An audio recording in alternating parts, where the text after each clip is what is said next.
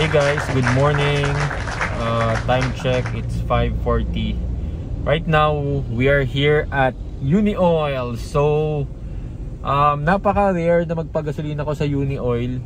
Um, mas, uh, al- naalaman ko lang siya dahil uh, affiliated siya sa SNR. So, never had a chance to really dig in it or something.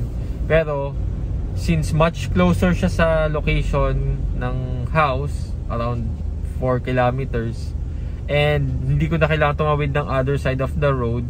So, if you'll notice, dito sa Kalamba, dito sa National Highway, papuntang National Road, papuntang Santo Tomas, uh, yung boundary, marami dito ano, gasoline station. Pero from Torbina, 66 pesos yung um, 95 octane.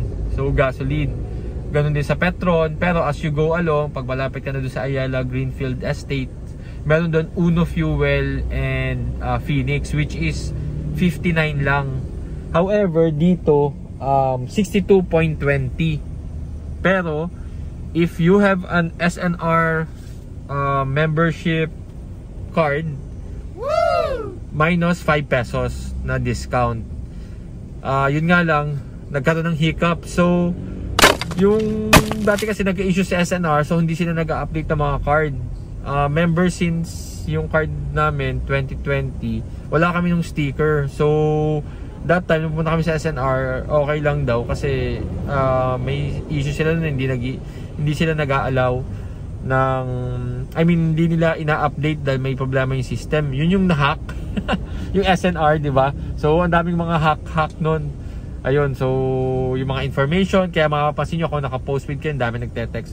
So ngayon dito si Kuya, napaka-friendly. Sabi niya, para hindi daw ako mabokya at masayang yung umaga ko, download ko daw yung UniOil app.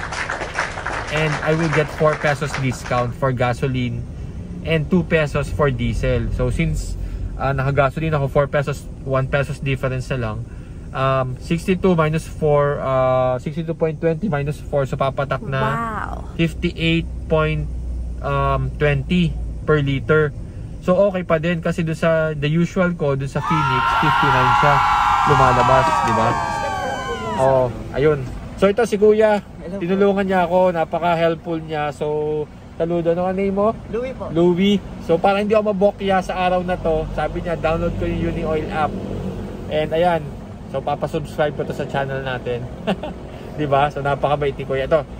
Ah, uh, wait.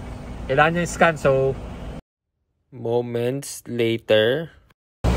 Alright, so ayan, uh, na-scan na ni Kuya and then um, you know, naayos na niya, kino-close na niya yung aking ano, uh, gas lead.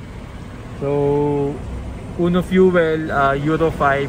So basically, pare-parehas naman yan lahat eh. So, syempre, yun nga lang, mas kilala natin dito sa Pinas, yung big three, kung tawagin, uh, Shell, Petron, Caltex, which is, um, ayun, syempre, di ba? Alam natin sila yung big three. Pero, madaming, ano, um, small player na eh, kailangan suportahan din natin, di ba? And, syempre, uh, sa ngayon, taas ng gas. So, bakit? So, hindi ko din alam. Huwag nyo na yung tanong no choice. Kailangan mo namang gamitin. And, wala, ganun lang. Just, you know, alisin mo na lang yung stress sa sarili mo that kailangan eh. Kailangan mo talaga mag-gas. Ayun, so lahat tumataas. Talagang walang bumababa. Spaghetti lang yung bumababa.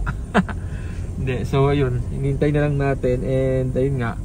Guys, check it out.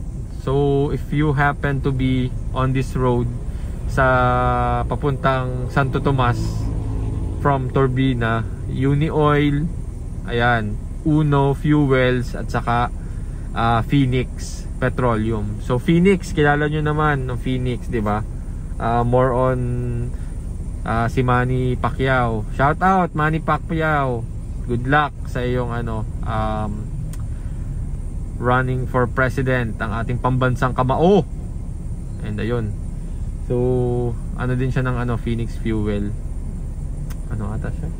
Model model. Pero alam ko meron din siya yung nagpa-franchise. And ayun so waiting na lang tayo. So interesting yung ano uh, Uni Oil app. Later send ko yung screenshot nung ano nung app para ma-download nyo. And upon registration, may 50 points agad ako. And later, siguro mamaya, explore ko pa kung anong ano, mga benefits nito. Lahat naman meron eh, Shell App Plus Go, Petron Value Card, ayun, lahat.